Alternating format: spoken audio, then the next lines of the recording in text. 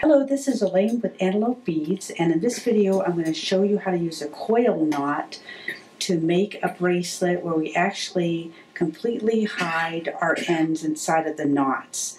On this bracelet you can't even tell where we've made our cuts or where we folded the leather and so let's go ahead and get started. I have here, this is going to be a bracelet for a woman, so I have about 14 and a half inches of 5 millimeter suede, and then I have two 14 inch pieces of 1.5 millimeter natural leather. For my endings, I've got a clasp here, and I've already added some 8 millimeter jump rings using some 6 millimeter jump rings and then for my other side with the loop, I've got three rings let me, attached to one ring, and then I've gone ahead and added a couple of charms, or excuse me, a charm and a bead to that. So let's go ahead and get started. I'm going to start by putting one of my end pieces onto the leather. And I'm going to slide that down, not quite to the halfway point. and I can of course adjust this later. And then I'm going to go ahead and put my other end on, the leather, the longer side. Take it back. Before I even do that, I think I'm going to add a slide.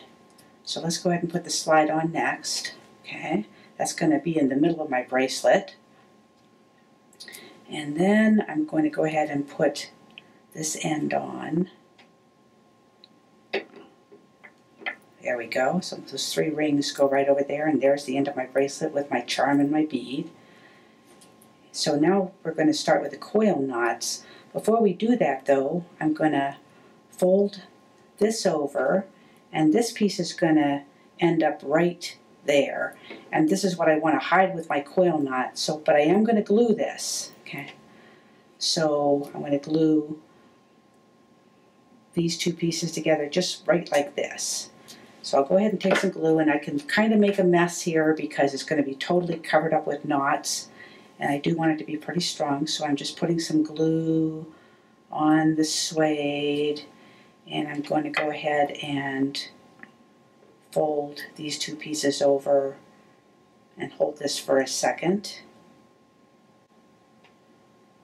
And that looks like that's going to hold quite beautifully okay so I'm going to start by doing a coil knot around this area right here and then we'll go ahead and adjust the bracelet and work the other. Okay, now my little pieces of leather are glued together here so I'm going to start my coil knot. I'll take one of my pieces of leather, make a little loop at the top, lay it across the base, which in this case is this double loop, and I'm going to go ahead and start wrapping. And in this case I want to make sure that I completely cover my glued section.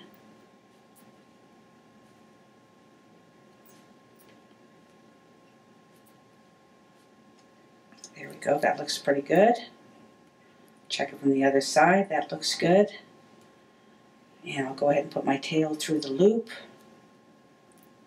Pull both of my tails.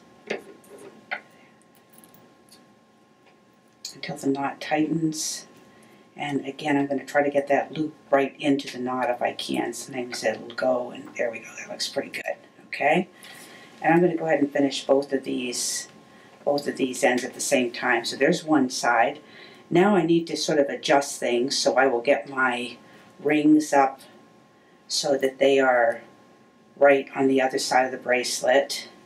And of course I can adjust the slide at the very end going to do the same thing. Now I don't have to worry about gluing or anything like that. I'm going to make my loop, lay it across the base, and I'm going to sort of look at my, I made eight wraps on this side, so I'll want to do the same on the other side. And I also want to make sure that I sort of start at the same point there. That looks good. Two, three, seven, eight. Put my tail through the loop. you really need to get through there. There we go, and then pull both sides until my knot tightens. Okay. There we go, that looks pretty good. So now I will finish this off. Now this is suede, and so I want to be real careful with my glue that I don't get it onto the suede because it really will show. And so I'll go ahead and trim all my tails right flush to where the knot is. Okay, I'm going to take my glue and I am really going to pay attention and just put the tiniest amount of glue and try to get it right on my wrapping leather and not on the suede because again I don't want to end up with a dark spot on my suede from the glue so I'm just going to really take my time with that.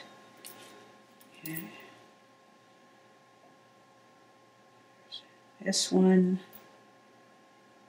And then if I have one piece that's sticking out, I can always get a pair of pliers and just sort of poke that in. There we go. And then lastly, I'm going to take my slide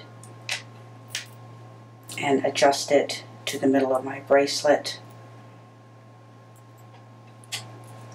And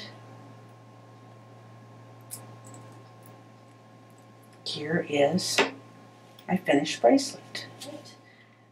Thank you so much for watching. Please visit us at antelopebeads.com to see more videos and lots of fun ideas and inspirations.